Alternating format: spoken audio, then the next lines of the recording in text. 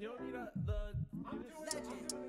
He a legend. He a legend. He a legend. He a legend. He a legend. He a legend. He a legend.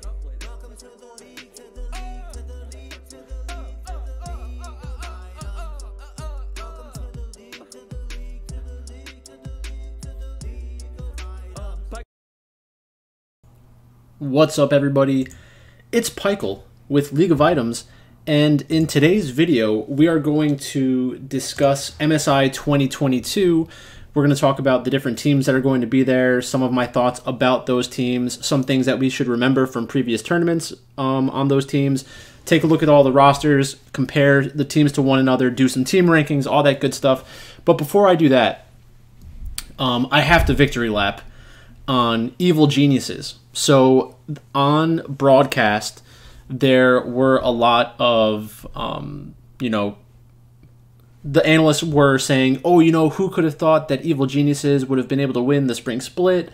You know, coming out, not coming out of nowhere, but, you know, it's just so surprising. And I've been making videos about Evil Geniuses being this good um, since January and February. Um, so I'm just going to go through some of the videos that I've made because it's it's part victory lapping, but it's also like the the league scene is such an echo chamber. People think that the only people that have opinions are the ones that are um, like on the broadcast, but in reality, there are a lot of people outside of that who understand this probably better than they do in terms of evaluating talent and trying to figure out from a betting perspective which teams are more likely to win, which moves will result in more winning, and stuff like that. Um, so on January 29th, this was what my tier list kind of looked like. And I know that not everything played out the way that I thought it might, but that's really not the takeaway that you should have. The the thing is what opinions did I have that were actionable for the future? Um, some of them were in line with market, some of them were not in line with market. So with Evil Geniuses, my belief in Evil Geniuses and my willingness to bet money on Evil Geniuses to win the split is something that you know, that was a chance I was willing to take because my opinion of Evil Geniuses was so far out of line with the market. You don't need to make a bet for every single thing that you think, but when you think something that's way out of line with market, those are the, the best times to take a chance. And if it doesn't hit, it doesn't hit. You just kind of have to live with it. But looking at this, January 29th, I had Evil Geniuses and Rogue as two of my top three teams, and they were both in the finals. Vitality crashed out of playoffs. They didn't perform very well. Um, and that's that's just kind of you know where we were. If you look at the teams in the LCS that were up there, Evil Geniuses, Team Liquid, Hundred Thieves, Cloud Nine, those were the four final teams. TSM uh, didn't play well. Um, then I made a video, you know, five days later after lock in. I think this was after lock in, where I was trying to place Evil Geniuses in every region across the world, and you know some of them were pretty surprising. But I was already doing these thought experiments months ago where I was trying to think to myself, you know, if evil geniuses are as good as I think they are, how will they compete against these teams around the world? Um, and then the last video that I made, which I, you know, that was post haircut, so I do look very similar. That's probably an Inception situation right there. Um, I made a video about how evil geniuses could beat Team Liquid, what their draft strategy should be, and you know, it was pretty spot on. Um, it's it didn't play out exactly the way that I thought it would. Oh, you're seeing the wrong part of the screen. Uh, basically, that was like, you know, Volley, RETF, LeBlanc, Zeri, Ryze. And I kind of, I had an idea of how these teams would prioritize the different champions and stuff. So, you know, that's where I'm coming from. I know that um, you're not going to agree with everything that I say in this video, but, you know, I'm not just saying this stuff to say it. I really do believe um, in what I'm saying. Um, so, so let's get into MSI. So before we start discussing numbers, I think the best thing for you to do to kind of see how your opinions relate to the market is take the 11 teams, I'm going to list them right now, and then ask yourself, what percentage of the time do I think this team actually wins MSI? So we have T1, RNG, G2, Evil Geniuses, PSG, Wildcats, Detonation Focus Me, Saigon, A's, Red Canids, and Order, right? So, what percent of the time do you think T1 wins um, MSI, and you know we can we can go through and discuss it. Um, but basically, this is what the sportsbook has. That's not the right one. This is what the sportsbook has. So, the sportsbook thinks that T1 will win uh, 63.64% of the time. And that seems like a pretty high number to me. And we're going to go through the numbers and why they look this way um, and what, what this kind of implies. Um, RNG at plus 150 is a 40% chance to win. So they're saying the top two teams have over 100% chance to win, and that's because they're, it's a betting market, and they understand that those are the teams that will get the most action. So they're trying to balance the books. I got Evil Geniuses at plus 4,000, and they're at 2,500 right now. So that that was instantly bet down. Um, and you know what's going to happen is when we get to like the semifinals, if Evil Geniuses are in the semifinals, I will most likely be offered money to cash out my bet, which is a, an okay position for me to be in at that point in time. But I really do believe in Evil Geniuses. I think they have a, a better than 3.85% chance to win. G2 plus 1200, 7.69% chance to win. Evil Geniuses 2500, 3.85% chance to win. PSG 6600, 1.5% chance to win. And then everyone else is less than 1%. Um, so before we go into everything else, let's talk about the teams. So Order, Canids, Team A's, uh, Saigon. I don't have any interest in those teams. I don't think that they're going to win the tournament. I don't know enough about those teams to even say something um, insightful about them. I'm not going to waste your time on those teams. Um, not because there might be information that's out there that that says you should consider playing one of these teams. I don't know what that is, so I won't do it. Um, so let's talk about Detonation Focus Me. So Deton- Detonation Focus Me um, played okay at MSI last year, and then I knew that they were going to do well in the playing stage at Worlds because the level of competition wasn't going to be very high. Um, so we made a lot of money on Detonation Focus Me um, at the World Championships during the play-in stage. But you know they they played well in the play-ins. They got slapped on the main the main stage. They're a very old team overall, and their new mid laner would need to be Faker in order for um, for this team to win this competition. Um, um, is a good mid laner. He he's in the LCK now. He didn't have a great split, but his team underperformed in general, and I don't really think it's all his fault. Um, I don't expect that Nation Focus Me to do anything here. They are the second most likely. They are the the they are the second best team in Group A according to the sportsbook, um, and their chance to make it out of that group is six point six seven percent chance. Or no, their their likely their their odds to win the group is six point six seven percent. Um, so it's a double round robin. I don't expect them to beat T1, and those odds probably aren't even good enough for me to want to do that. Um, actually, they, they actually might be. I shouldn't say that. They would have to beat T. It's a double round robin. They would have to go like probably one two and zero or one and one against T1, and then hope that T1 drops the game to somebody else, and Detonation Focus Me just sweeps. You know, I don't know. That doesn't seem like something I'm going to bet on personally. Um, next up, uh, Wildcats. So Wildcats are from Turkey. Uh, they are a team. Let's get them up on the screen actually. So the Istanbul Wildcats. So they made it to MSI. They made it to MSI last year, and I'm pretty sure that they just yeah they got stomped at MSI.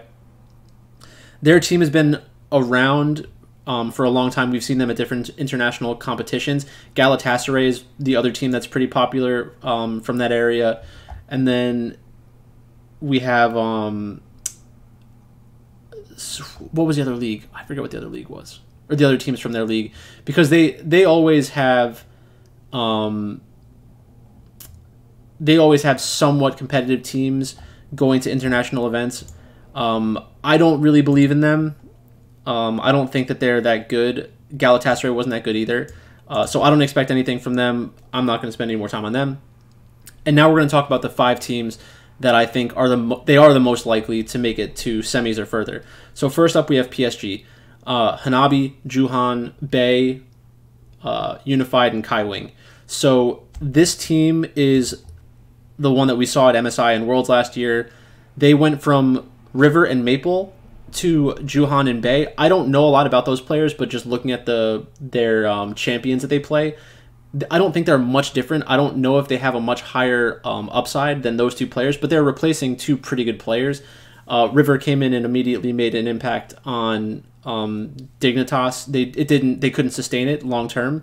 Um, at Worlds they beat Fnatic 2-0, but but uh, Fnatic didn't have upset. So they went three and three with two wins against a bad Fnatic team. They just didn't play very well at the main stage, um, and they advanced. Um, they didn't advance into the the knockout round.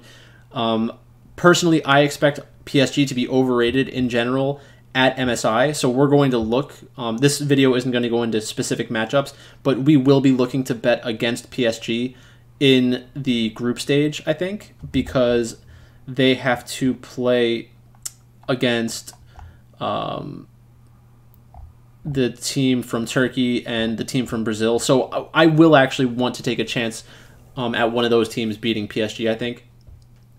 In terms of how I rank these players, I think that they are the fourth or fifth best at their position out of these top five teams. So Hanabi, we've seen him before. Um, he's an he's an okay player, but he's not a he's not a big difference maker. Like if it, if it's a best of five, I don't really expect him to carry a match. It's possible. It's just not the likely thing to do. JunJia and Bay, I don't know anything about them. Um, I I would expect them to be probably the worst out of all five of these players. When you're when you have players like um, Oner, Wei, Jankos, Inspired, it's unlikely that JunJia is going to be better than any of them. Um, Bay, same thing. Unified and Kaiwing, uh, the same thing. And the only reason why they're not definitive, definitively in last place is because of the uncertainty surrounding some of the other players. Um, so let's talk about Evil Geniuses. Obviously, I'm very high on Evil Geniuses. This is where I expected them to be, so I am not over adjusting because of what has just happened. Um, this is a this is my long term view of Evil Geniuses. So with Impact, I think that Impact is definitely a player that you can expect to perform well at an international event. He doesn't need to go out and carry every single game. He just needs to play his matchups good well enough to get the carries of the team into a spot to win, and he has shown time and again that he can do that. Um, so I think that he's probably the third best top laner, and I'll go through that again at once I'm done talking about all these teams. Inspired, this is probably where I'm the most different relative to the market. I think that Inspired is, I think that he's the second best jungler at MSI, and I think that he might be the best jungler at MSI, and that's a very unpopular opinion because everyone thinks that Oner is just so good. I think that Oner's probably getting to the point that he's overrated. I made a comment on on Twitter the other day, and then somebody came back at me saying that I didn't like that my opinions on the LCK and the LPL were wrong because because they said T1 looked strong at Worlds last year. Um, but the the picture that they were referencing was you know Gen G, and then the tier below them was T1 and Damwon. And if you think about the roster moves that those three teams made over last season, I didn't expect T1 to be better than they were last year. And, you know, we will see if they are able to sustain the success. This could just be a little bit of a variant result. Um, where losing Canna and going to Zeus is not an upgrade. Canna is a better player than Zeus. Um, period. That's just my that's just my view on things. Um, and then Oner Oner Faker Gumayusi and Keria all stayed the same except now Oner is the only jungler as opposed to splitting time with other people.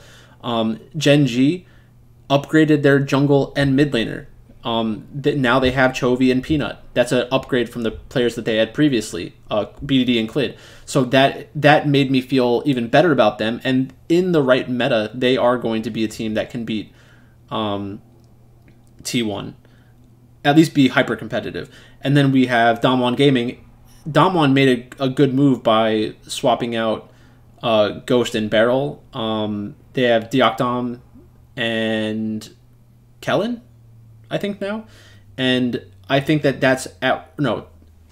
It doesn't. It doesn't matter. I don't. I don't remember who their support is, but Deokdam is an upgrade over Ghost. Period. So the rest, the rest of the team kind of needs to figure it out. Burdol hasn't worked out great in the top lane, but now Nuguri's coming back, so they should be um, they should be very good in summer, and everyone's going to give all of the credit to Nuguri if that works. So it's kind of whatever.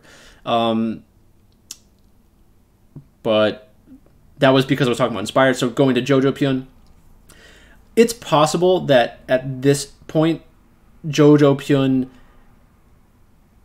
The hope is that he can be competitive with Faker, Xiaohu, and Caps. Not that he's going to win these matchups, but he's not going to lose them hard enough. They're, they're going to have to draft around that and get JoJo into good matchups, um, which is going to be a huge uh, draft restriction, especially with his champion pool looking the way that it has, where it's somewhat predictable.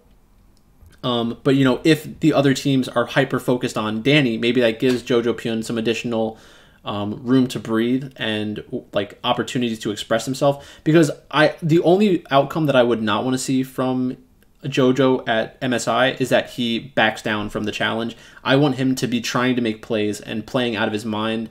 Um, sometimes it'll work for him and sometimes it won't. But I want him to take those chances against um, RNG, T1, and G2 so, you know, the only way that that doesn't happen, and the worst case scenario is that EG doesn't qualify. They're in the easiest group because they there are only three teams. So if a, two random teams make it through, then they have a 66 percent chance. They're most likely much better than Order. Um, and I think they're better than G2. So Evil Geniuses, in my mind, is the most likely to win that group, and I got money on that as well. They were at like plus 250. Um, and then we're going to the bot lanes, Danny and Vulcan. So I think that Danny and Vulcan as a duo are the second or third best bot lane at MSI, and that's not going to be popular either, and that's fine. I think that Gumayusi and Keria are definitely the best, um, but Gala and Ming are overrated in my opinion, and they're still very good. I I'm, I don't doubt that they're elite. Um, it, well, actually, I do doubt that they're in elite, in an elite bot lane.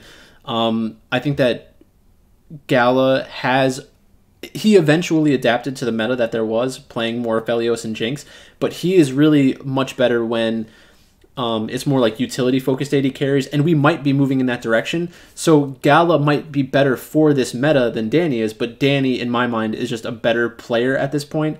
and I know that's not popular, but Danny is that player. He he just is, and the level of confidence that he has shown on stage and his ability to push forward in team fights against teams and players that everyone has been telling him are better than him you know that takes a lot. So i i have a ton of respect for danny and i think that the i think that he could theoretically be the kind of AD carry that allows north america to have somewhat of a chance to win um, an international competition like msi or even worlds.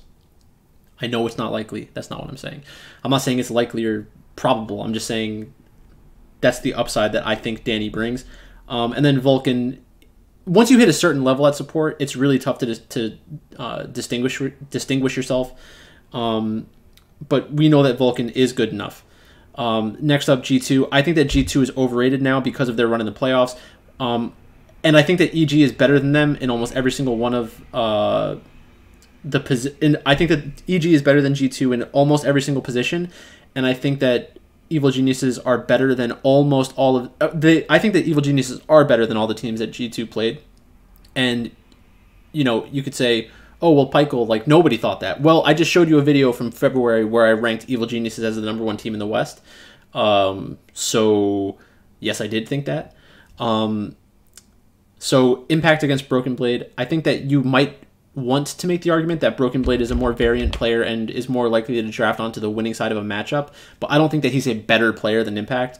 Um, Inspired is just better than Jankos. That's not even debatable. If you think that Jankos is better than Inspired, then you need to stop talking to me about League of Legends because we're not watching the same game. Um, I'm I'm definitely going to default to Caps is better than JoJo because Caps has a lot of international experience and is a very good player. I think there are a lot of matchups that JoJo um, could win a lane and could be more impactful in a game, but over a, a series, I think that Caps would um, ultimately get the best of Jojo Pyun um, at this point. Um, and then Flakked and Targamas against Danny and Vulcan. I think that Danny and Vulcan are just easily better than Flakked and Targamas. That would be shocking to me if that ended up not being the case. Um, so that's G2.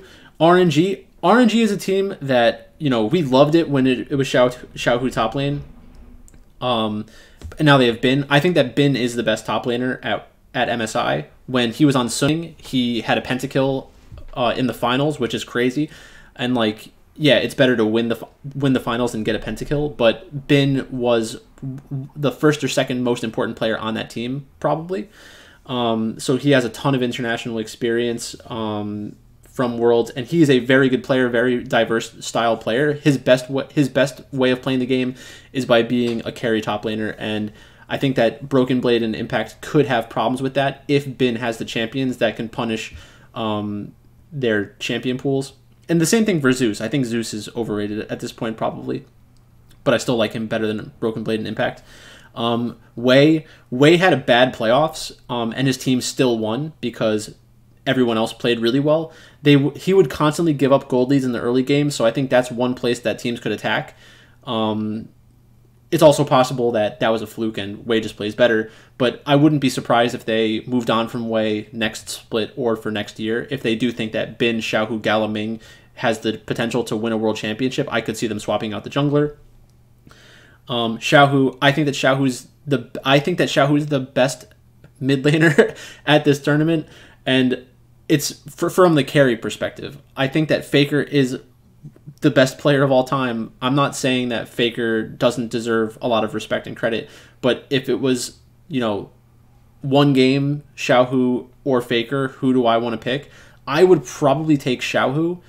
Um, that's that's just me. And like if you want to go like the intangibles route or like, you know, Faker has so much experience, like fine, I get that. I'm not I think it's kind of splitting hairs. Um it's just for me, I would rather have Xiaohu. And I think that's part of the reason why they've been so good for so long. And he's so versatile. He's played top lane, he's played mid lane. Um, you know, just an, as a, it's crazy to say that, but I I just really do think that. Um, Faker may have more influence, and he might. And the, the intangible thing is is the the way that you easily get to Faker being um, more impactful overall. But just as a mid laner, I think I'd rather have Xiaohu. Gala, I think Gala's overrated. Uh, I've been saying that for a long time. Um, he is he is good enough to beat a lot of um, LPL AD carries.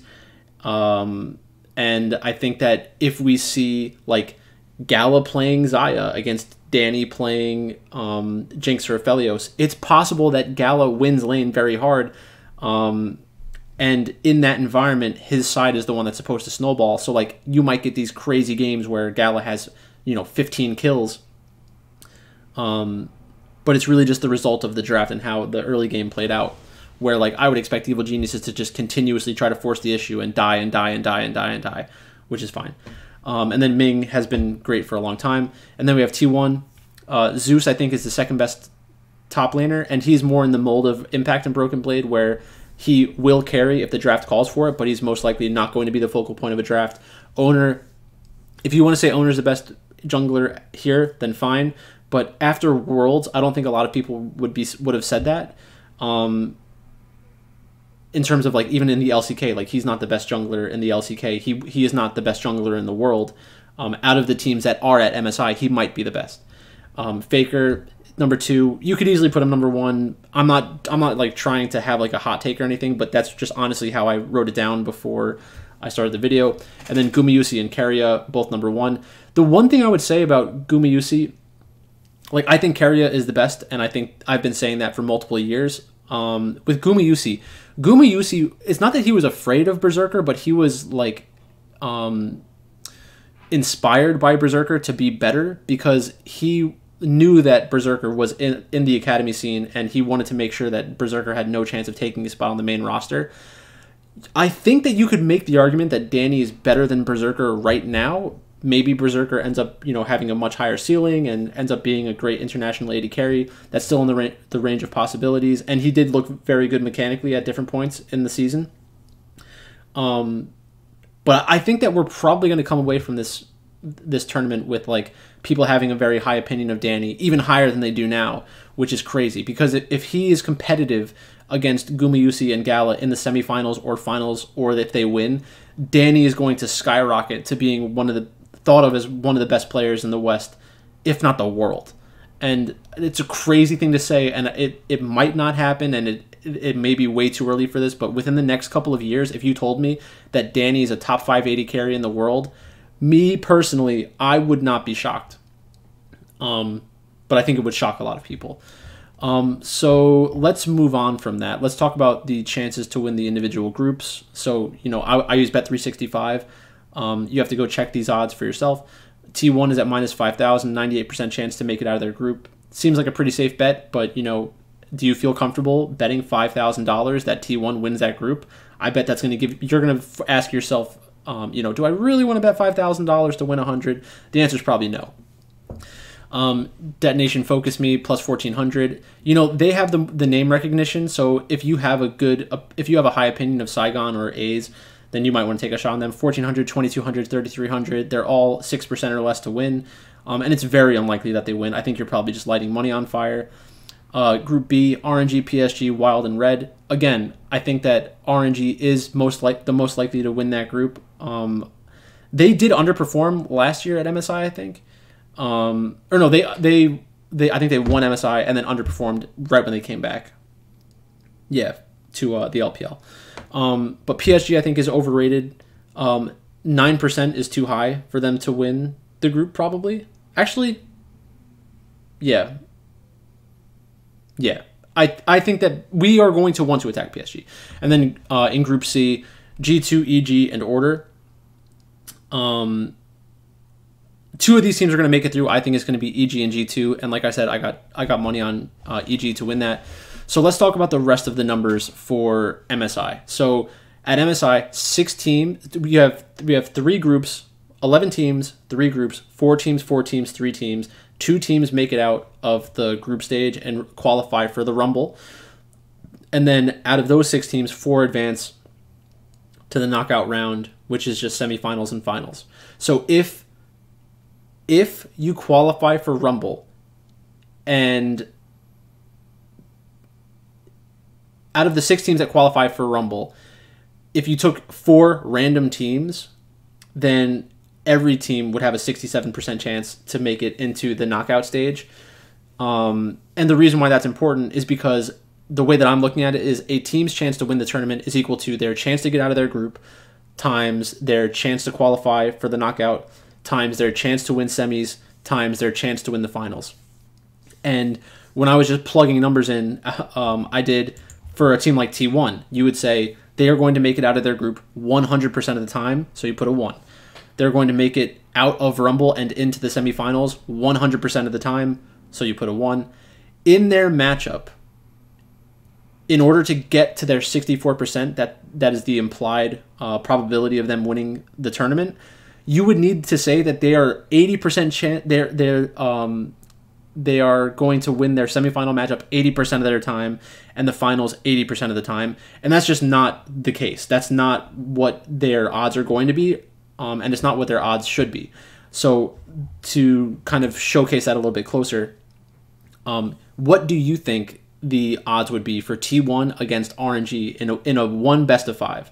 In one best of five, I think that you know it'd probably be closer to 0.6 or 0.65 if because we're most likely going to have T1 looking dominant, RNG looking dominant when they play each other. Um, so I think that the line would be probably like closer to an implied probability of 60 40, maybe even 65 35. So if you wanted to change it to times 0.65, then fine but but it's going to do a lot to negatively impact the the overall percentage. So you could do something like this where you just change it to 0.65. Now you're at 52% chance. And then that's with them, like if you just want to reverse this, do 0.8 and then times 0.65, where this is like EG or G2. And this is RNG. So even if we said T1 is one gets out of their group 100% of the time, qualifies for the knockouts 100% of the time. The chance of them beating EG or G2 around 80%, maybe even if you said 90%. And then their chance to beat RNG, even if you said, I guess 0.65. Then you're at 59%. So then that's a negative 5% vig, uh, negative 5% edge over the sportsbook. So the sportsbook is making you is offering you odds that is most likely going to make them money. Um, because that's just how the sports book, you know, makes money over time. Um, so I think I'm going to end the video here. Actually, before I end the video, let's talk about the tier list. Um, so this is what the tier list would look like according to the sports book. Um, I think that it's I think that it's probably more like this. I don't think that PSG is on the same level as these four teams.